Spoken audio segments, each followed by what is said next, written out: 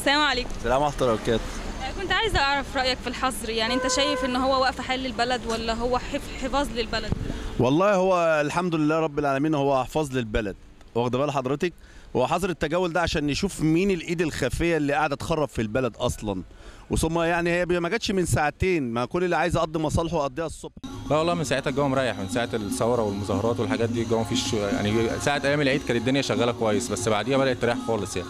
حتى إحنا بنفتح الساعة 20 في الساعة 5 مفيش زي ما أنت شايف كده الدنيا فاضية خالص. بس فربنا يستر يعني الدنيا خربانة يعني.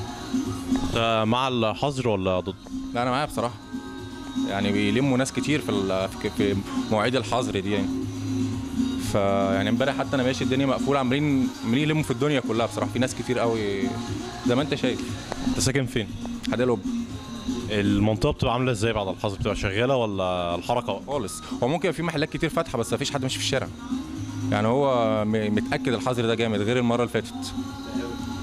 لا لا لا هو محلات. يعني شارع شارع اسمه شارع 10 الدنيا كلها فاتحة بس ما بتلاقيش في حد في الشارع خالص يعني. الناس خايفة تنزل أساسا.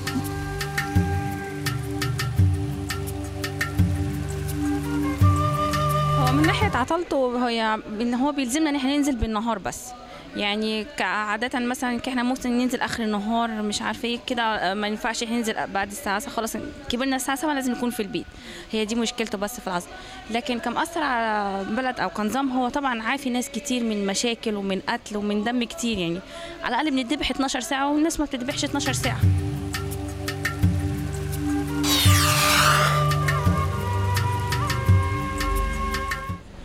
بس في المتوسط العادي إحنا أصلا كنا بالنهار أصلا السوق بيبقى نوعا ما ضعيف جدا. كان دايما الحركه تبقى آخر النهار إن طبعا الجو صيف والكلام ده كله. آه، الملاحظ إن حركة البيع هي هي جدا جدا. على فكرة مفيش أي فرق بالنسبة لنفس المعدلات اللي كانت موجودة في حركة النهار بالنهار. قبل الحظر قبل الحظر اليوم عادي خالص مفيش أي أذى.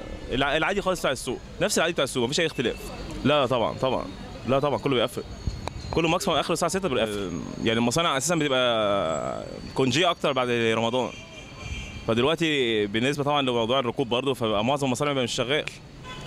يعني برضه ملاحظ بيني وبينك برضه إن معظم السيدات الأول كان مثلا ممكن بتنزل مثلا معاهم مرافق بموضوع الزحمة إن مثلا يبقى خايف عليها والكلام ده كله لكن بجد فعلا من ساعة الحظر المفروض يبقى في الخوف يزيد.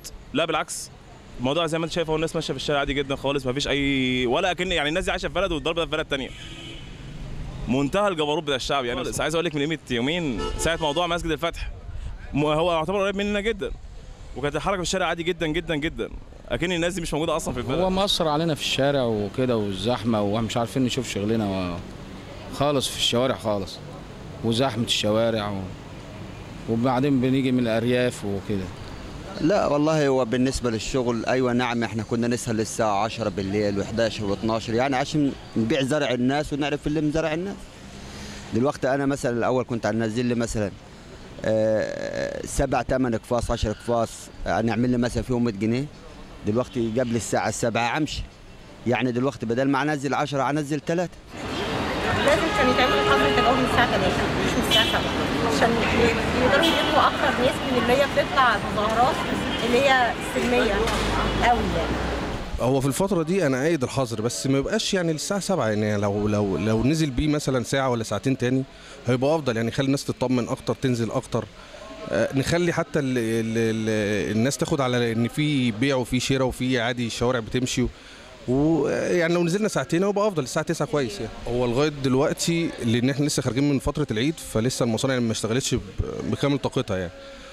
بس حاليا لا الجو ما يسمحش. الجو ما يسمحش لا.